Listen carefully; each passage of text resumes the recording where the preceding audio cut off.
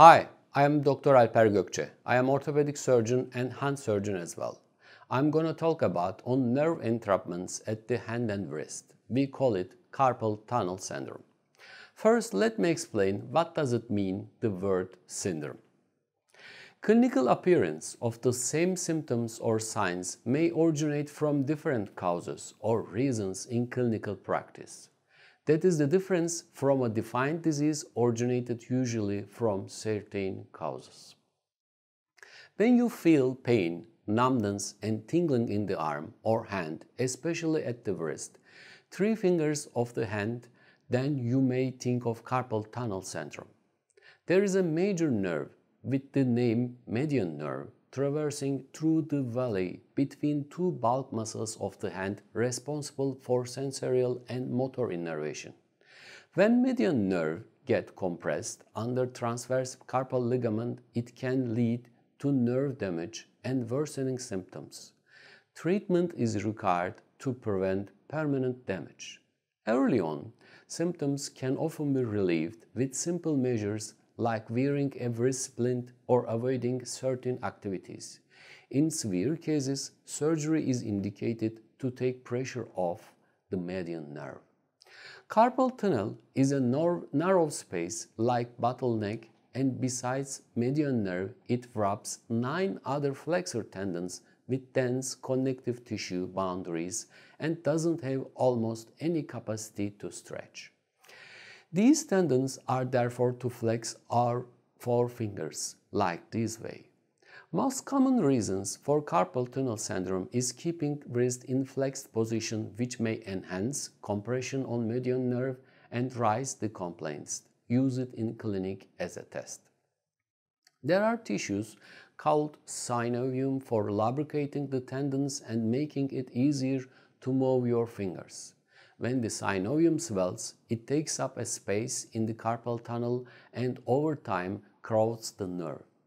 This abnormal pressure on the nerve can result in pain, numbness, tingling, and weakness in the hand. Other common causes of carpal tunnel syndromes are 1. The tunnel may congenitally small developed. That means there is not enough space for tendons and nerve. 2. Hormonal changes like pregnancy, thyroid disease, growth hormone abnormalities may cause abnormal edema in tissue which may lead excessive pressure on nerve. Disease like diabetes, rheumatoid arthritis, obesity are associated with carpal tunnel syndrome. 4. Occupational or habitual issues of hand in flexed positions or repetitive motions may aggravate swelling on tendons. Previous 5. Previous traumas or badly healed fractures. 6. Deposits of some certain metabolic disease. Anyway, studies show that women and older peoples are more likely to develop the condition. Numbness, tingling, burning, and pain are main complaints and located especially in the thumb and index, middle and half of the ring fingers. Occasionally, shock-like sensations like radiating electricity to the hand and fingers may be felt. Small percussions on volar side of the wrist can be used as a provocative test called Tinel sign. Sometimes pain or tingling that may travel up the forearm towards the shoulder. Weakness and clumsiness on the hand may be seen. Patients may experience difficulties in the moments such as buttoning your clothes, dropping things due to weakness, numbness, or a lost perception, awareness of where your hand is in the space. In most cases, the symptoms of carpal tunnel syndrome begin gradually without a specific injury. Many patients find that their symptoms come and go at first. However, as the condition worsens, symptoms may occur more frequently or may persist for longer periods of time. Now, treatment. In mild symptomatology, conservative modalities are preferred. Changing activities, duration or position of the hand during activities like typing will be beneficial.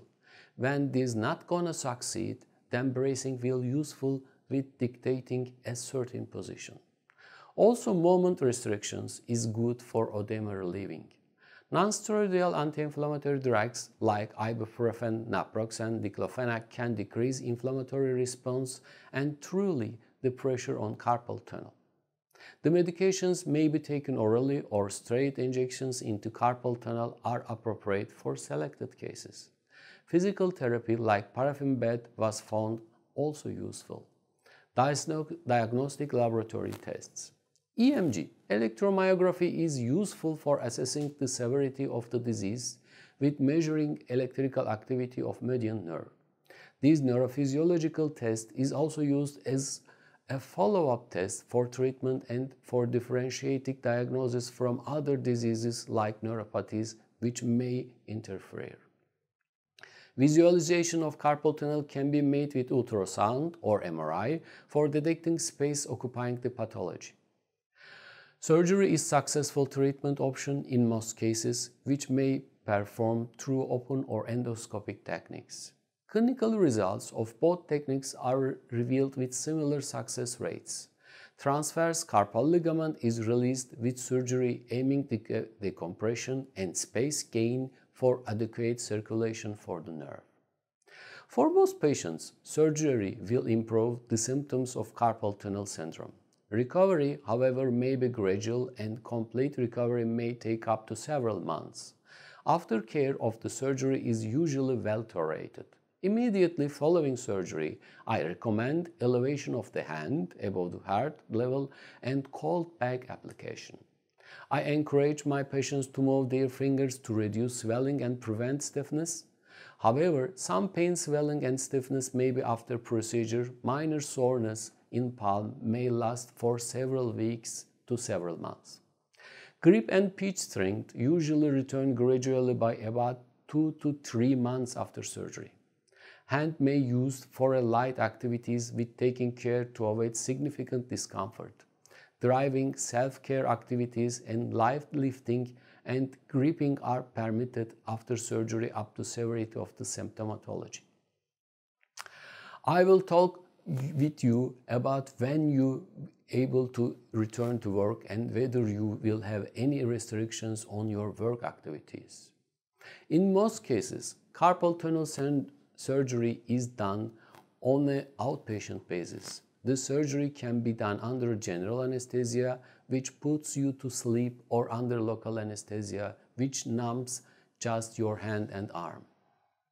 In some cases, you will also be given a light sedative through an intravenous and line inserted into a vein in your arm.